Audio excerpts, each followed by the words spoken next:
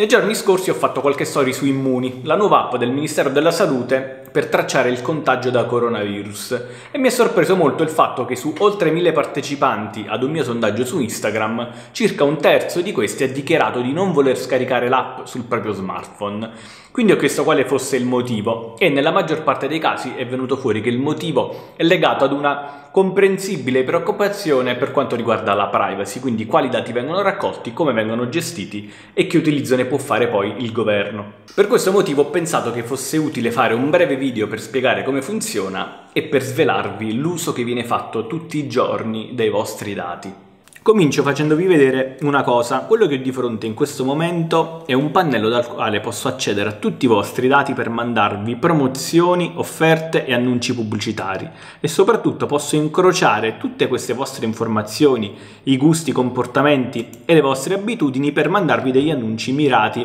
e personalizzati quali sono i vostri interessi e le vostre abitudini, se siete esperti di prodotti di bellezza o andate spesso dal parrucchiere. Posso vedere anche, vediamo un po', se amate gli animali domestici, se amate il brivido, se amate la vita notturna, se siete appassionati di uno stile di vita ecologico, se siete dei fashionisti. Posso scegliere quello che cercate sul web, se state pianificando un acquisto, una vacanza, Tramite quest'altra piattaforma invece posso utilizzare i vostri dati sempre anonimi ma comunque molto dettagliati per inviarvi qualsiasi annuncio o promozione commerciale in maniera mirata. Posso ad esempio mandarla solamente a quelli di voi che vivono in una determinata zona, in qualsiasi posto del mondo, in qualsiasi città del mondo o zona geografica, ma anche quelli solamente che ci sono andati di recente o che ci stanno viaggiando ora ma non ci vivono. Questo perché il vostro smartphone va a monitorare in temporale la vostra posizione ad ogni ora del giorno e quindi vede se è un luogo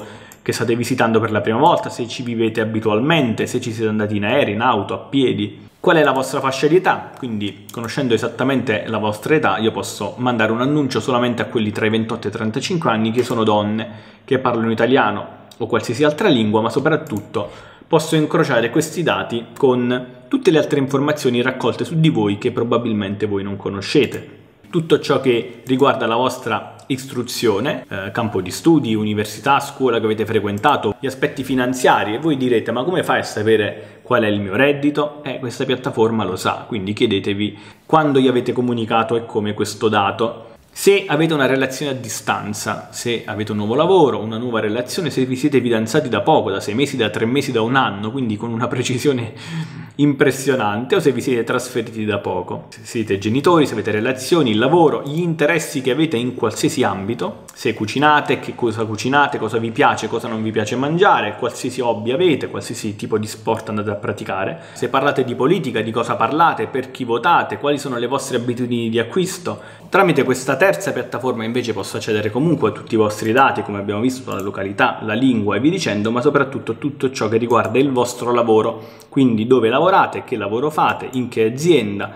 eh, in che categoria è la vostra azienda, da quante persone è seguita, in che settore, quanto cresce la vostra azienda di anno in anno e che dimensioni ha. L'esperienza lavorativa, quindi tutte le vostre qualifiche, le funzioni, le vostre competenze, l'anzianità, gli anni di esperienza e tutti i vostri interessi. Ecco, di tutti questi vostri dati personali che ogni giorno a qualsiasi ora vengono raccolti dal vostro smartphone, Immuni non ne utilizza neanche uno, quindi potete stare tranquilli e mettere da parte ogni timore relativo alla privacy oppure nei casi ancora più estremi legati a teorie del complotto secondo cui il governo vorrebbe i nostri dati per controllarci. Inoltre Immuni è un'app open source, ovvero il suo codice è pubblico ed è disponibile online, per cui chiunque abbia le competenze può accedervi e può studiarlo e capire con esattezza quali sono le funzionalità dell'app e cosa fa esattamente sul nostro smartphone. Insomma, non ci sono segreti e leggendo il parere di vari esperti che io seguo sui social, pare anche che quest'app dal punto di vista tecnico sia fatta molto bene e sicuramente molto meglio delle piattaforme solitamente realizzate dalla pubblica amministrazione. Quindi cosa fa Immuni? Semplicemente genera un codice casuale sul nostro smartphone eh, che cambia tra l'altro ogni ora, quindi è simile ai codici dei token delle banche, delle chiavette che utilizziamo per autenticarci quando usiamo l'internet banking e utilizza il Bluetooth del nostro smartphone per scambiare questo codice con tutti gli altri smartphone con cui viene in contatto, registrando tra l'altro la durata del contatto e la distanza tra i due smartphone. In questo modo, se due persone si incontrano ed entrambe hanno l'app installata, semplicemente i loro smartphone si scambieranno questo codice e di conseguenza ogni smartphone andrà a memorizzare l'elenco di tutti i codici delle persone con cui è venuto in contatto. Quindi, se nei prossimi 15 giorni una persona dovesse risultare positiva al coronavirus, semplicemente dovrà informare gli operatori sanitari comunicando il codice presente sulla propria app e automaticamente verrà inviata una notifica a tutti i codici memorizzati nel proprio smartphone, ovvero a tutte le persone con cui si è entrati in contatto negli ultimi 15 giorni per informarli appunto di essere stati a contatto con un caso positivo di coronavirus, informandoli tra l'altro della durata del contatto e della distanza a cui si trovavano. Per sfatare alcuni miti su questa gestione della privacy,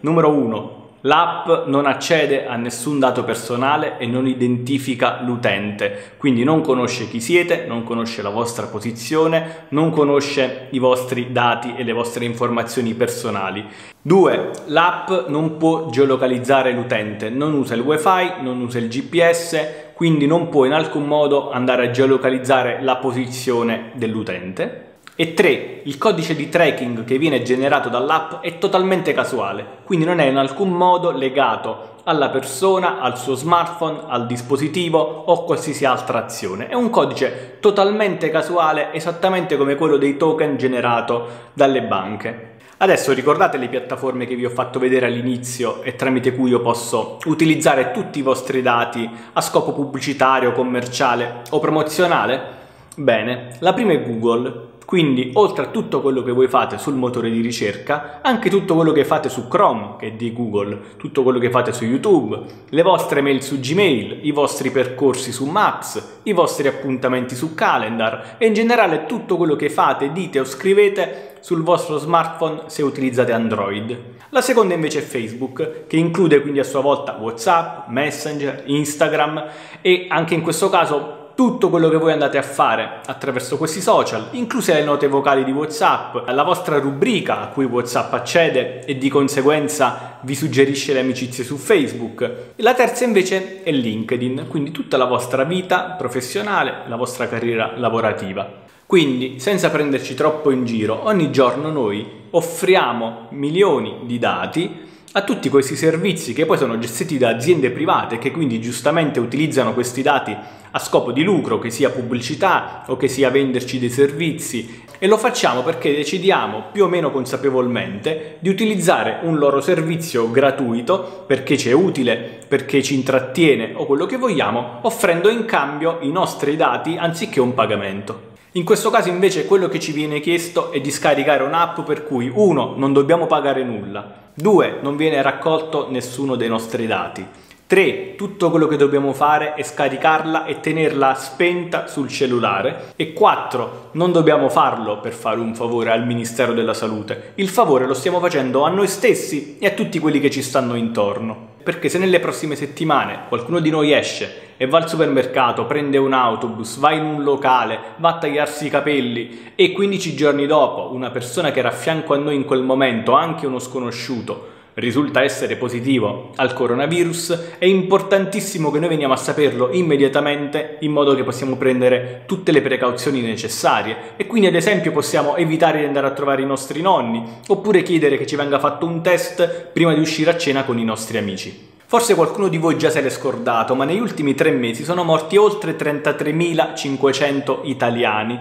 quindi per favore cerchiamo di fare le persone serie evitiamo queste buffonate e scarichiamo questa benedetta app sul nostro smartphone. Anche perché pure nelle ipotesi in cui avesse raccolto i nostri dati, Se state guardando questo video siete su una piattaforma che in questo preciso istante sta raccogliendo molti più dati su di voi. Ed è importante che la scarichiate anche perché l'app funziona solo se a scaricarla sono in tanti, credo almeno un 60% delle persone, perché il meccanismo su cui si basa è simile a quello dell'immunità di gregge per i vaccini e cioè è efficace se la maggior parte delle persone che ci circonda ha a sua volta l'app installata sullo smartphone, altrimenti possiamo anche averla noi ma non possiamo scambiare il nostro nostro codice con nessuno. Non è obbligatorio scaricare Immuni, ma è importante che voi lo facciate. Quindi, se avete qualsiasi domanda, timore o preoccupazione prima di farlo, lasciate un commento, ne parliamo, lo chiariamo insieme, ma poi scaricate quest'app. Va bene qualsiasi dibattito sulla privacy, va bene qualsiasi polemica su una o più immagini contenute nell'app,